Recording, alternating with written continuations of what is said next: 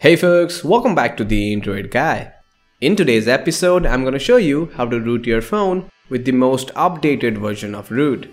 This is going to be a no data loss method, so all your apps and data are going to be safe.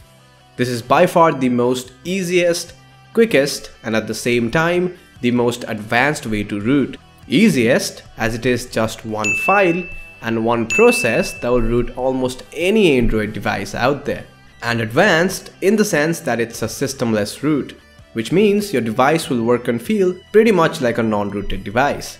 Even certain apps and services that would straight up refuse to start on older version of root will now start working. Plus it got mods, auto updates and a ton of other features which we will discuss later in the video. So if your device is rooted with the older version of root like SuperSU or KingRoot, then we recommend you to unroot your device by following that video and update over to the latest version of root by following this video. So let's get started. Oh, but before we get started, the only requirement for this to work is you will need to have a custom recovery pre-installed on your device. And that's because some devices comes with a locked bootloader, which will prevent any attempts of rooting no matter whatever you try. So installing a custom recovery unlocks your phone and allows you to safely root your device and do all sorts of cool stuff like installing ROMs, mods, you can even update over to the next version of Android before anyone else does and much much more with added safety as you always have the restore option in case anything goes wrong. But the only problem with that is the method to install a custom recovery is device specific. That is, it's different for different devices. So there is no one method that can install a custom recovery on all devices. But the fun fact is, the very first mod that comes out for any device is always the custom recovery. So there are detailed guides online which will help you unlock your device and install a custom recovery. Simply Google search. And make sure that the model number on the guide that you're following matches your device's model number. So if you are lost and do not know where to start with, start by installing a custom recovery. Taking trips, cause I never tripped on what they said. If you speaking from your heart, naysayers gon' aim for your head. Alright, so once the custom recovery is up and running on your device, let's go ahead and root the phone up. But before we do that, let me show you that my phone is unrooted. If I open up the root checker app, and tap on verify root. And yup as you can see it says unrooted. But let's go ahead and reconfirm that with another root checker app from the play store. Again all links are in the description. And yup as you can see unrooted as well. So let's go ahead and download that one file that can root almost any device running on Android version 5.1 Lollipop and above, which almost all Android devices these days come with. But however, if your device is on a low version of Android, that is 4.1 KitKat or below, then you can still root. The process from here on is exactly the same, only the files are different. So do watch this video if you are on KitKat or below. Alright, so click on the first link in the description. That'll take you to our website. And here you will find all details about the Magisk root.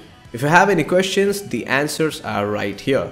But if you want to quickly get your device rooted, then scroll down and download the latest version of Magisk from the download section right here. Now it's a flashable zip file, only around 5 MBs in size, so it should not take long. But most importantly, make sure not to unzip it and let it be as it is.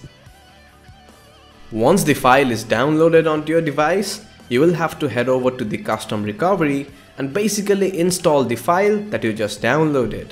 So in order to boot into the custom recovery, first of all, completely turn off your phone.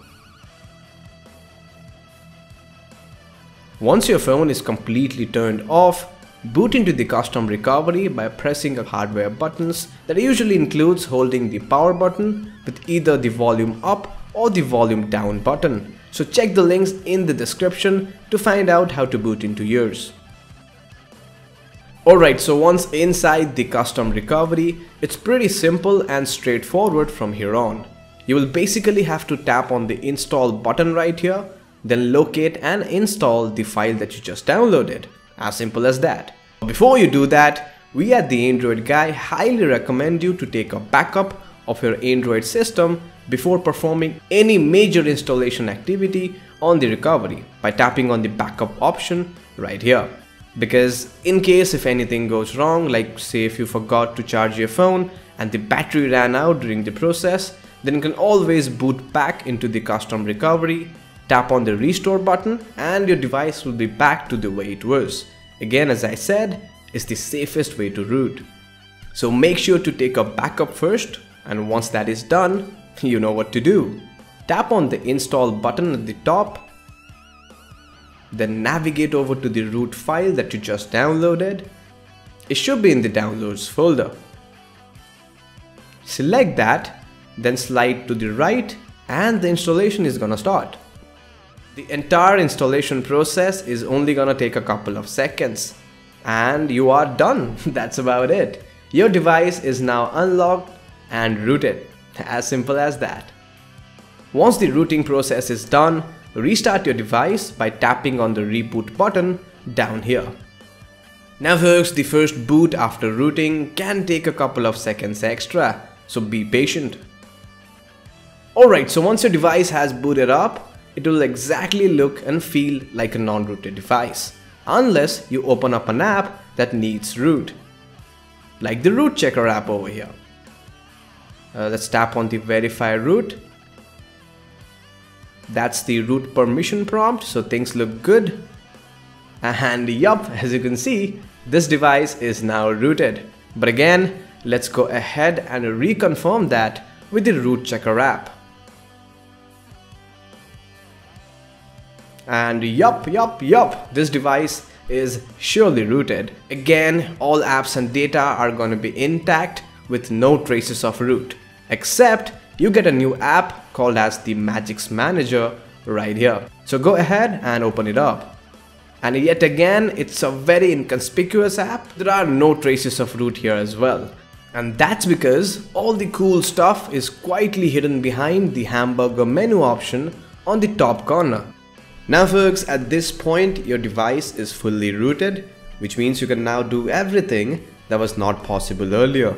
Like you can remove bloatwares, Speed up your device by increasing the CPU speed, change the boot animations, install thousand types of mods. You can also crack and modify apps, kick people out of your Wi-Fi network, and much much more. So don't forget to watch the second part of this video to learn more about the Magisk root and all the cool things that you can do on a rooted phone.